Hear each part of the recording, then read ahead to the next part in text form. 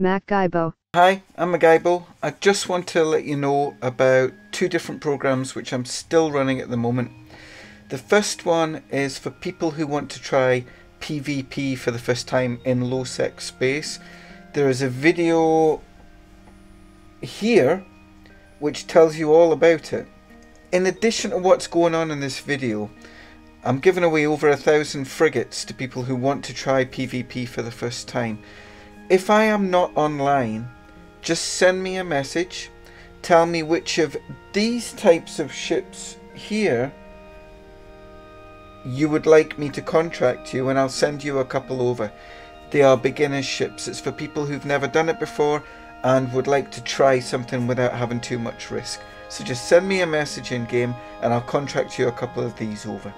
The second thing is players less than six months old who've lost a ship to another pilot. So we're not talking about people who've lost ships to Concord or to an, in a mission or anything like that, but people who've lost ships in PvP or if they've been ganked.